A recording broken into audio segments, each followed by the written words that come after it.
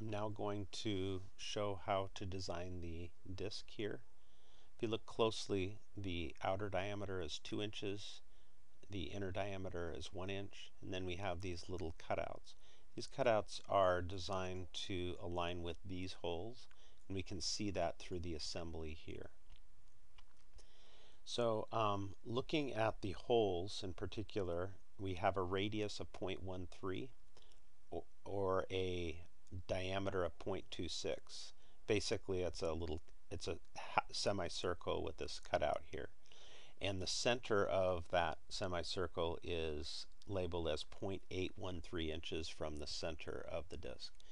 It's actually 0.8125 and they've rounded it up. And I know that it's 0.8125 because it is half of 1.625 and half of 1.625 is 0.8125. So when we design it we're going to do that. Um, we're going to design it as a distance of 0.8125 here. And then we have an eighth inch thick um, thickness. So let's go to Inventor here. We're going to go New, Standard IPT, and then Create. Then we'll start a 2D sketch on the XY plane, creating a 2 inch diameter circle. So I can just extend this out and type 2 in the box. And then we'll make another circle that is 1 inch. Once I'm done with that, I'm going to finish the sketch, hit Extrude or E,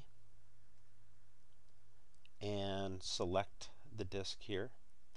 Now um, we only want it to be an eighth of an inch thick or 0.125 inches and I'm going to do a symmetric extrude where we extrude um, half in the positive Z and half in the negative Z and then hit OK. So now we have the ring.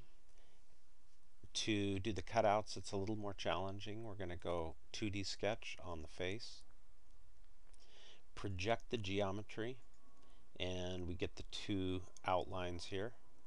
Then I'm going to make a circle and I'm going to be careful to put the circle on the line here that it's on and that line is the x-axis and we're going to dimension that circle to be 0.26 because 0.13 radius is 0.26 diameter.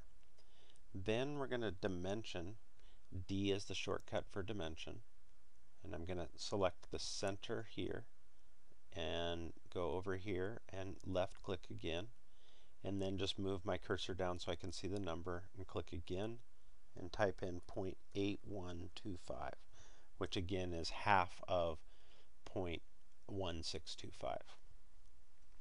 The next thing I'm going to do is draw a couple of lines and I'm going to be careful if you notice when I hover the cursor over here I get this dotted line showing on the circle I'm going to snap it at the very top and then I'm going to move my cursor over until it meets up with the edge. And I want to make sure that the um, line is horizontal.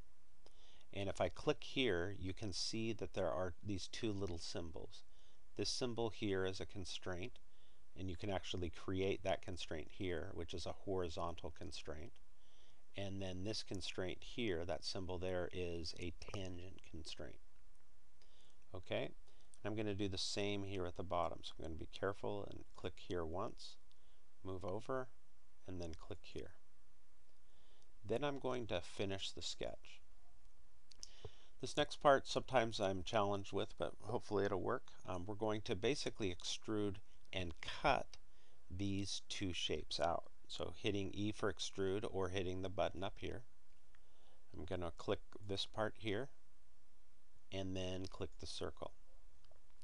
Now instead of adding material, I want to cut material away and then I can hit OK. Now instead of repeating the process three more times, we're going to use a circular pattern. So I'm going to click here for circular pattern and I get this little window.